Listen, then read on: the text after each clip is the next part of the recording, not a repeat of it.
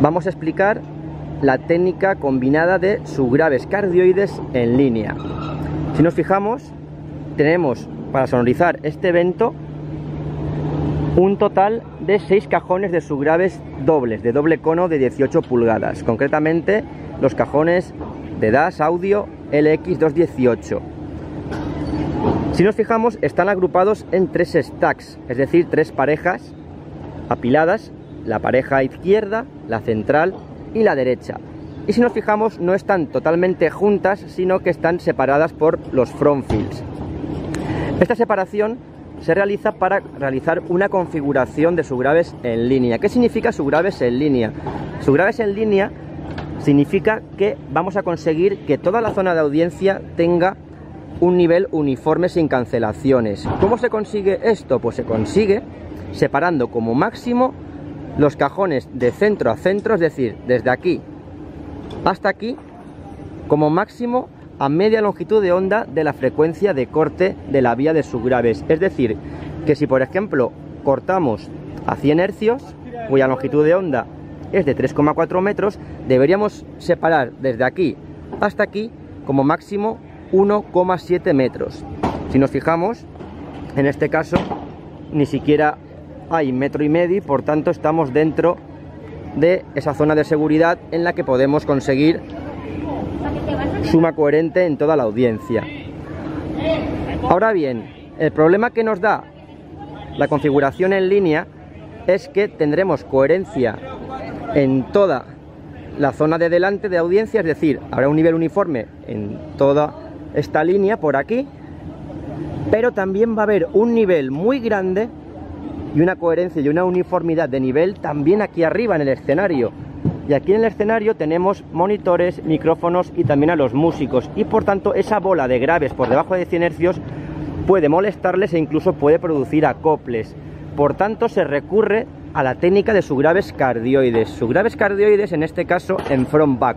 En front back significa que están mirando uno hacia adelante, que es en este caso los de abajo, y otro que mira hacia el escenario hacia atrás, que en este caso es el de arriba. Lo primero que debemos saber es que al poner el subgrave de abajo mirando hacia adelante, conseguimos que el lóbulo dispare hacia abajo, hacia el suelo, que es lo que se busca para tener mayor nivel de presión sonora. Si lo pusiéramos al revés, pues el lóbulo se iría hacia arriba. Por tanto, aunque sea poco estético, siempre es mejor colocar el de arriba mirando hacia el escenario. Lo segundo es que para hacer esta técnica cardioide se han puesto de esta manera para conseguir cierta distancia entre los conos que miran al frente, que tenemos aquí, y los conos que miran al escenario, que miran aquí. Una vez tengamos creada esa distancia, como hemos visto en la teoría con el programa de predicción, lo que hacemos es retrasar los conos que miran al escenario. De esa manera, si los retrasamos, su señal llegará a la vez al escenario que la de los conos de abajo que están más lejos porque están mirando hacia adelante. Por tanto, ya tendríamos que la señal llega a la vez aquí al escenario.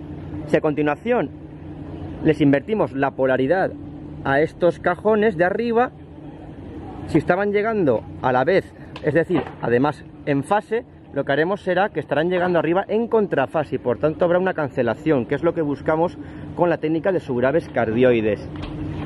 Esto se puede hacer mediante un procesador de sistemas teniendo un canal adicional, es decir, un canal, una señal diferente para los cajones de abajo y otra señal diferente para los cajones de arriba, pero también se puede implementar si los cajones son autoamplificados y llevan su procesamiento digital interno, como es este caso. La ventaja que nos ofrece tener cajones de subgrave autoamplificados y con su procesamiento interno es que no necesitamos dos señales de audio diferentes, es decir, una para los subgraves de abajo que miran hacia el público y otra diferente, retrasada y con la polaridad invertida para los cajones de arriba que miran hacia el escenario, ya que al tener el procesamiento interno podemos simplemente realizar esa inversión de polaridad y ese retardo pulsando un simple botón de preset cardioide en los subgraves de arriba. Por tanto, nos basta una sola señal de la mesa de mezclas o del procesador para llevarla a todos los subgraves, en este caso a los seis subgraves que van a llevar en principio la misma señal de la mesa de mezclas o procesador que llegará a este primer subgrave autoamplificado de aquí abajo y luego se llevará su señal mediante el loop through o salida loop through XLR de audio a el input de esta segunda caja que tenemos aquí arriba. Input. Y luego por la salida loop through de esta caja de subgraves llevaremos la señal a este tercer cajón de abajo y del out de este tercer cajón iremos a la entrada input in del cajón de arriba aquí donde pone input nuevamente y luego desde la salida loop through de este cajón nos iremos al cajón de abajo el, cajón número 5 con la misma señal. Y por último desde el loop through del cajón número 5 iremos a la entrada input del cajón número 6 que como vemos ya acaba aquí la señal y ya no tiene ninguna señal conectada en loop through a continuación lo que debemos hacer es pulsar el botón de preset cardioide en los cajones de arriba que miran al escenario aquí lo pone, nos dice cardioid y nos indica que si este muñequito es el público pues nos dice que la caja, el cajón de subgraves de abajo,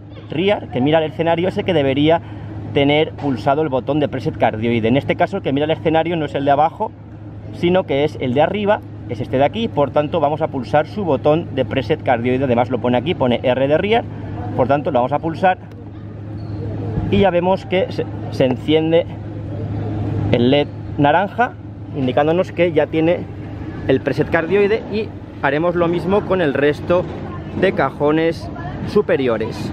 Nos vamos también a este de aquí y lo pulsamos, ya está pulsado, ya tiene también el LED naranja, rear, preset cardioide y por último nos vamos a este último cajón que también como vemos tiene ya el preset cardioide R rear activado. Recordemos que hemos puesto los cajones de arriba mirando el escenario y los de abajo los hemos puesto mirando hacia el público, contrariamente a como están en el dibujo de Das Audio, porque queremos que el lóbulo que va hacia el público, el lóbulo de pegada, es decir, de su graves, vaya hacia abajo y por tanto los de abajo los queremos que estén pegados en el suelo y que vayan hacia adelante. Por tanto, esta es la técnica de subgraves cardioides en línea o línea de subgraves cardioide. A continuación vamos a realizar las pertinentes mediciones con Smart y auditivas para comprobar que funciona esta configuración cardioide. Vamos a comprobar cómo los subgraves cardioides atenúan el nivel encima del escenario. Veremos que aquí hay una limpieza muy grande de subgraves. Como vemos, vamos a ir paseándonos en las primeras filas a ver cómo el nivel de los subgraves sube, ya que tenemos subgraves cardioides, atenuación en el escenario.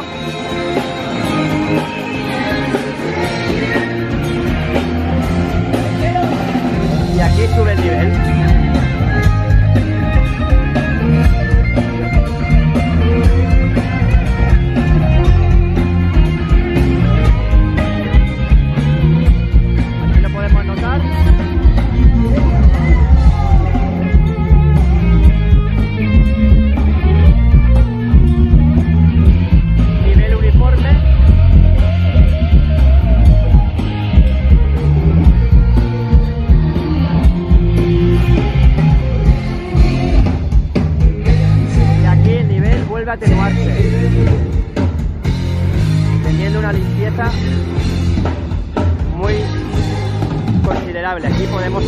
Tranquilamente porque ya no hay prácticamente ese nivel tan grande de subgrave. Por tanto, esto es lo que nos permite los subgraves cardioides.